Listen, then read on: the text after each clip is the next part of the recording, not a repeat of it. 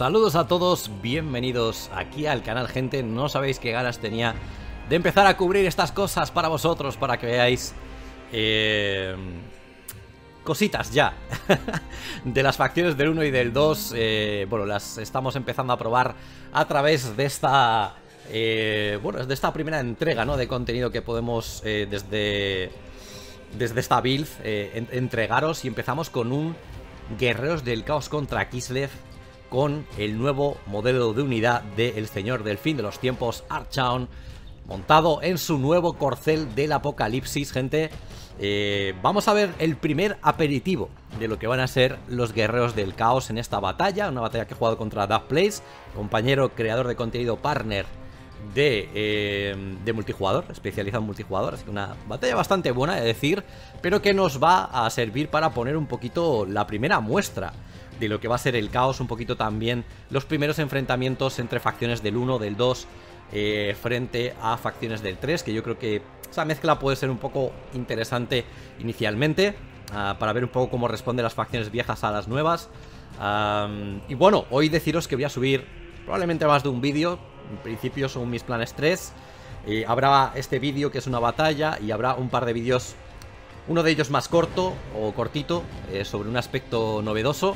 Y otro de ellos eh, repasando un poco algunas cosas de, Guerreros del Caos, ¿vale? Para verlas un poco con más calma y con más pausa, porque esta batalla un poco es para reflexionar. Son unas cosas, sobre todo para gozar de un eh, Archaon frente al Zar Boris eh, de Kislev, que la verdad que es un duelo que a mí me apetecía mucho mostraros. Sobre todo también quería mostraros, tenía muchas ganas de mostraros el nuevo modelo de, de unidad de, de Archaon, que es decir que yo creo que es el más extremo que se ha hecho hasta la fecha, porque sí que es cierto que a otros modelos de unidad les habíamos visto a lo mejor algún cambio, alguna eh, cosita retocada, a lo mejor a nivel visual, algunos colores o algún tema de luces para el modelo de unidad y cosas así, pero el tema de Archaon es que ha cambiado mucho. Fijaros que además empieza eh, el combate o las etapas del combate en las que no está luchando, tiene la espada al cinto, por ejemplo. Eh, diría que el, que el modelo no es quizá al 100% reworkeado, pero sí, en gran medida. Fijaros el yelmo, fijaros eh, todo, ¿no? En general, y bueno, ya intentaré mostraroslo con más detenimiento en otro vídeo. Pero bueno, la verdad que el modelo de, de Archaon está severamente y profundamente reworkeado. También a nivel estadístico y a nivel eh, lo que tiene el, el señor Archaon. eh, habilidades, por ejemplo, novedosas que ya os digo, no os preocupéis, os lo enseñaré todo en vídeos separados. El paradigma de la ruina, por ejemplo. eh, también cosas como la armadura de Morcar son novedosas. Y luego viejos conocidos como, por ejemplo, la Matarreyes, ¿no? Entonces, bueno, hay muchas cosas que comentar. También una pequeña muestra de lo que es la facción de Guerreros del Caos, con la posibilidad de meter cosas como Cruza Infiernos de Slanes, que aquí los tengo en este bosque junto con los mastines de, de con veneno.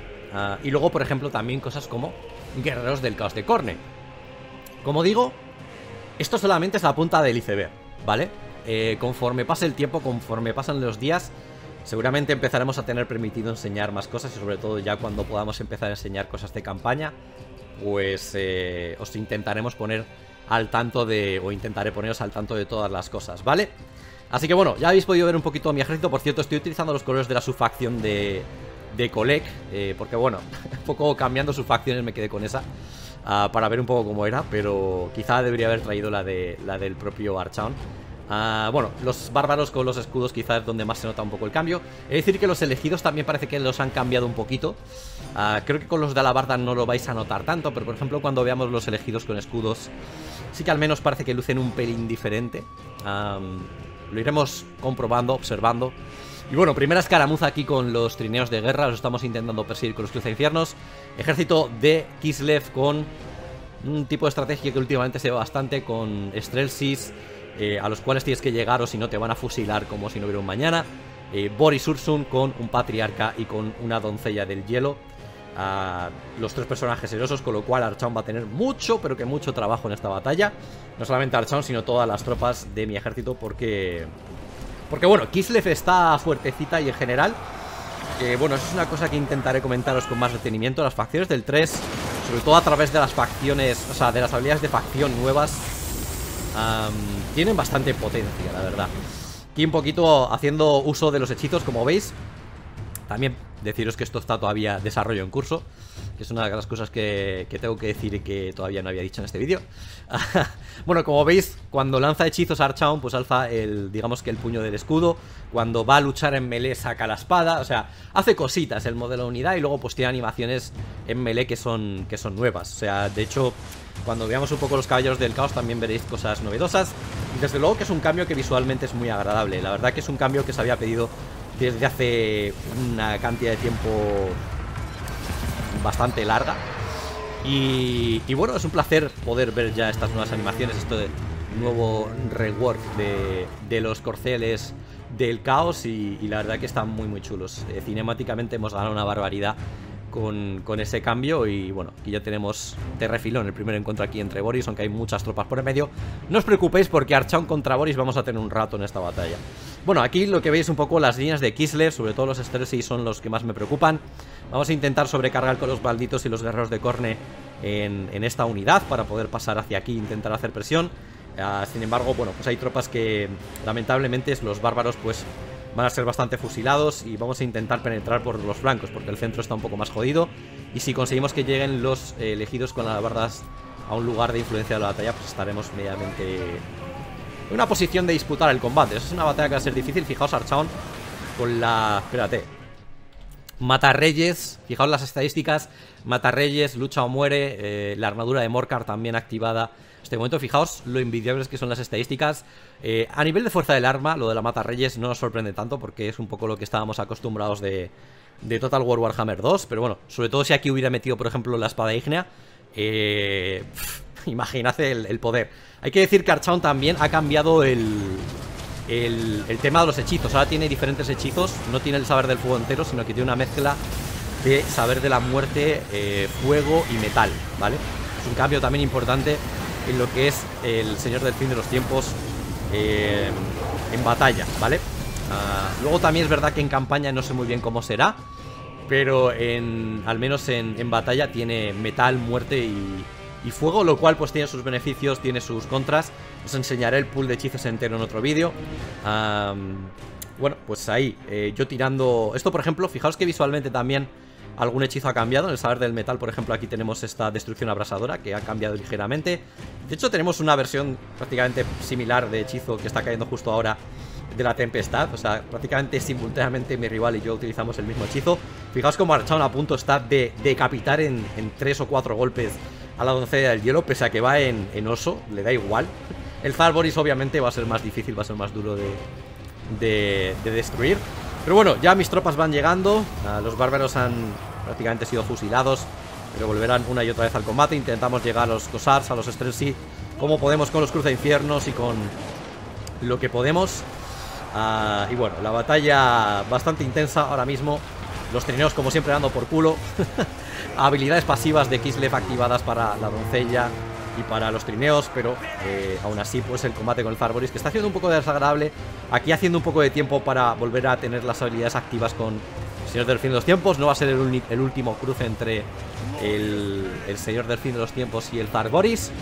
Y bueno, aquí estamos a punto de romper ya las filas de, Kislev, vamos a poder llegar a las tropas de proyectil, que decir que Kislev está muy potente con el tema de esos combos de proyectil, además que luego los Cosas y los Stressi también tardan lo suyo en irse eh, desmoralizados. Y bueno, que alguna hostia te devuelven, claro. Hay que tenerlo en cuenta. O sea, algún golpe te cascan los, los cabrones de los, de los Cosars y... Sobre todo los Cosars acorazados. Los Cosars, digamos que ligeros son bastante más fáciles de, de superar, pero los Cosars ah, acorazados son un poco desagradables, para que negarlo. Y bueno, eh, aquí estamos con los elegidos. La verdad que un poco desafortunado para mí en esta batalla porque yo había metido elegidos y poco también los cruza infiernos pensando en algo de caballería de osos, pero sí que es verdad que hay tres personajes que están montados en oso, pero hay que llegar hasta ellos y eso nos conlleva pues sufrir disparos, eh, incluso disparos en melee, como podéis observar, ¿eh? nos están disparando en la puta cara, básicamente. Los cosars, mientras se traban algunos modelos, otros no. Y bueno, pues eh, escaramuzas constantes, intentando romper las filas de Kislev por uno y por otro lado y esperando a tener otra vez las magias y las cosas activas con eh, Archaon, mientras, pues por ejemplo, aquí los guerreros de Corne... Eh, no estoy muy contento tampoco con los malditos, creo que los malditos eh, siguen un poco en un estado pocho. Creo que para nada me parecen una cosa muy, muy asombrosa. También hay que tener en cuenta que ahora hay malditos de mucha calidad en otras facciones del caos, rollo los malditos de Zench o lo que sea, por ejemplo, son muy superiores a nivel de prestaciones que los malditos del caos convencionales, con lo cual creo que se han quedado un poquito anticuados o al menos su manera de, de performar en batalla. No sé, no me termina de convencer, sí que es cierto que si consigues una ruptura moral rápida puedes conseguir hacer cosas y bueno, ahora se puede venir otra vez la segunda parte del enfrentamiento, ¿por qué? Porque ahora se va a disputar en un lugar donde estoy... Fijaos, ¿eh? Cómo salta Dorgar, el hijo de puta, ¿eh? ¡Madre mía! Lo que salta ese corcel. En fin, muy bonito Dorgar, la verdad. Corcel de Apocalipsis también. Eh, a nivel visual no se queda atrás para nada el Zarboris. Aquí volvemos a comprar combate porque estoy a punto de recargar otra vez las habilidades. Y encima pues estamos cerca de los elegidos, lo cual es una situación más beneficiosa para mí. Activamos la Matarreyes otra vez, ¿vale? Y la doncella del hielo osa volver al combate. mala idea, amiga, mala idea. Eh, activamos, no sé qué más. De hecho, aquí a tomar por culo. la bruja se va a la puta aquí directamente. Y aquí es donde vamos a aprovechar para remontar un poco el combate frente a, Boris, porque tenemos activada la armadura de Morcar, tenemos activado también la Mata Reyes. Eh, y bueno, pues eh, estamos en una situación donde podemos hacer cosas también. Es cierto que Boris está también en nivel Super Saiyan, porque Acaba de activar también la furia de Ursun, con lo cual ahora es un combate bastante intenso entre ambos personajes. Pero el patriarca va a ser jodido porque también va a dotar de, curación a Boris. Va a ser complicado y aunque hemos conseguido arrasar un poco lo que son las tropas de Kislev, eh, entre las pasivas de Kislev y entre unas cosas y otras, va a costar mucho. Al final son tres personajes en oso que tienen que ser derrotados en, gran, en gran, medida por parte del Señor del Fin de los Tiempos y va a estar medio complicado el asunto bueno, en cualquier caso, pues se va a intentar. Aquí activa otra habilidad, activando habilidades eh, tanto el, el Zarboris como el Patriarca. Y bueno, pues intentamos combatir, pero es un 2 contra 1 otra vez. Eh, aquí estamos apisonando con los guerreros de Corne. Ah, sigue disparando alguna unidad de, de Kislev, pero bueno. Al Zarboris que se tiene que incluso... Nos damos aquí una pequeña tregua. El Zarboris eh, controlado por Daft y, yo, que controla aquí a Archon. Vamos a intentar darnos una pequeña tregua mientras las habilidades se vuelven a, recargar. Y bueno, pues eh, siguen los guerreros de Corne haciendo bastante buen trabajo. Yo sobre todo aquí quiero intentar ayudar. Estoy intentando matar alguna unidad de proyectil porque quiero ayudar a los elegidos, pero los elegidos es verdad que ya en este momento de la batalla, que queréis que os diga, no va a hacer gran cosa. Los estrés están aguantando bastante bien, siguen disparando. Lo típico, algunos te sacan la parte del filo y te pegan. Bueno, lo de, siempre, ¿no? Más o menos. Archón que vuelve otra vez a la carga. Eh, le pegamos golpecito aquí a, Boris y al Patriarca. Pero claro, siempre tengo que estar en una situación de dos contra uno. Con lo cual, por ejemplo, ahora le vuelvo a bajar mucho la vida al Patriarca. Pero yo también pierdo mucha salud en, ese envite. Con lo cual, tampoco es que sea 100% eh, positiva la situación para, para mi persona. Así que bueno, eh, me tengo que dar otra tregua, volver a intentar recargar alguna habilidad. Los cruzainfiernos que intentan ayudar a Archaon aquí. Que fijaos que los trineos seguían vivos todavía. Y aquí peto otro modelo de unidad de, trineo. Pero es que fijaos la pesadilla que son los trineos siempre eh, de, esta gente. Y en general, bueno, pues ahí veis animación de carga aquí un poco del, eh, bueno, de Archie. Y, bueno, habilidades, otra lluvia de estas de destrucción. Ah, intentamos cerrar una unidad aquí, pero ah, prácticamente mi ejército solamente resisten los guerreros de Corne. Aquí la verdad que los Cosars acorazados, los Strells están haciendo una buena protección del Zar Boris. Yo estoy intentando aunar tropas ahora para rendir alguna unidad que estaba libre disparando. Pero bueno, va a ser una situación ya complicada. Disfrutemos un poquito de Archaon más. fijaos cómo reparte, ¿eh? Las animaciones de, de ataque, la verdad que bastante novedosas. Y un nuevo combate aquí con el Zar Boris. Le empezamos a calentar. De hecho, le pegamos bastante. Le bajamos mucho la vida. Si le entran los golpes de la Mata Reyes, la verdad que el Zar Boris está bastante complicado su existencia, pero consigue la curación gracias al Patriarca, que viene otra vez en apoyo para sumar al, combate. Ahora es otra vez un 2 contra 1 con el Patriarca y con el Zarboris, que también cuando está bajo de vida es, peligroso, ¿no? Se vuelve también más fuerte y más eh, cabroncete. bueno, intentamos aquí conjurar una última magia, pero no nos da tiempo. Intentamos ahí sacar otra espada ígnea, pero ya las pérdidas en ejército se activan, el propio Archao muere.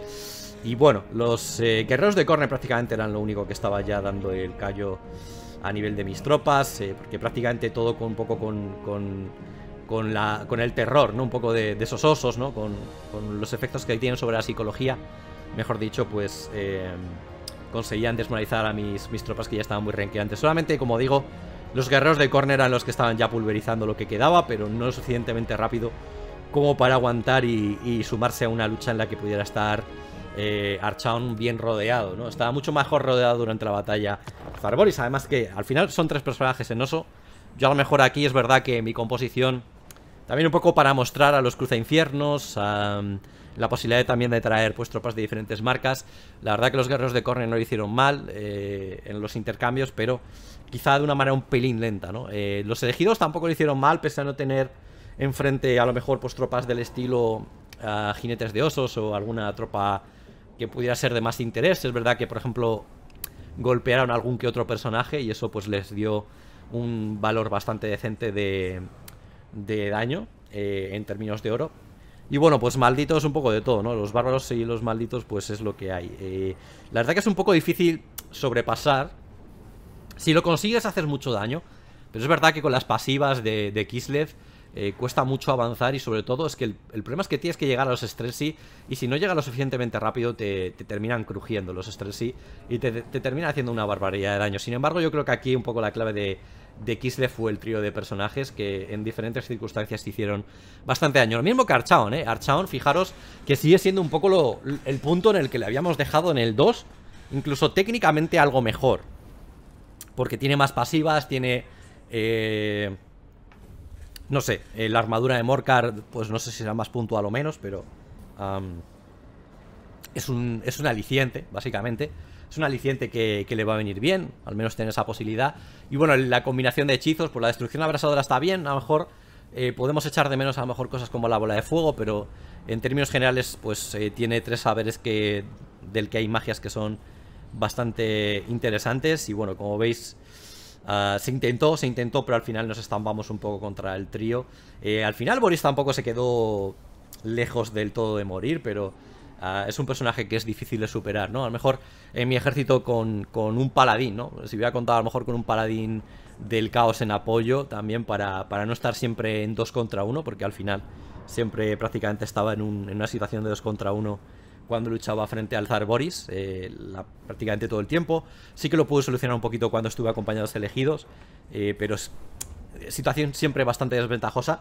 Que bueno, que al fin y al cabo, pues Archaon se saca 4134 de valor de daño, pero que, es una situación en la que estás bastante tenso siempre y que luego Boris eh, pega una barbaridad. O sea que si estás en una situación donde tienes que distribuir daño entre dos personajes, el Zar Boris saca mucho partido porque es un especialista anti, anti personajes grandes, ¿no? Con, con aplicando bonificación contra grandes y todo eso. Así que bueno, es una pequeña muestra de la, como digo, la punta del iceberg de el rework del caos. Evidentemente cuando podamos eh, subir campaña y cuando podéis ver todos los pormenores de, lo que está eh, lo que nos espera de, Guerreros del Caos, pues seguramente vais a disfrutar mucho o vamos a disfrutar mucho eh, de todo esto y va a haber cosas muy interesantes que comentar. Pero aquí tenéis una pequeña muestra de, algunas cosas que se pueden hacer y un combate bastante épico contra el Zar Boris. Ah, como os decía, voy a intentar subir vídeos a lo largo de estos días eh, bastantes vídeos en principio, ah, porque no podemos streamear, solamente podemos subir vídeos en durante este embargo, lo cual es una lástima, no puedo enseñaros a mejor... Ah, a ver, puedo reaccionar a mis propios vídeos y tal, pero... Uh, ¿Cómo deciros? Pues no puedo hacer un streaming de, de batallas o no puedo hacer un streaming de ciertas cosas porque no lo tenemos permitido, así que eso es un problema. Pero bueno, voy a intentar hacer vídeos que sean un poco temáticos sobre una cuestión, sobre alguna magia, eh, sobre los planteles de las diferentes facciones. Intentaré centrarme en alguna facción algunos días, eh, otros en otras cosas.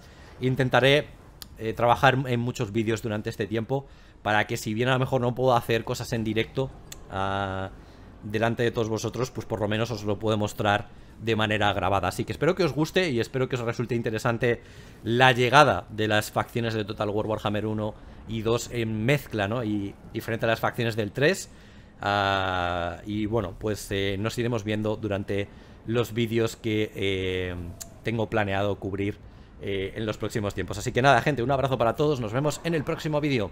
Adiós.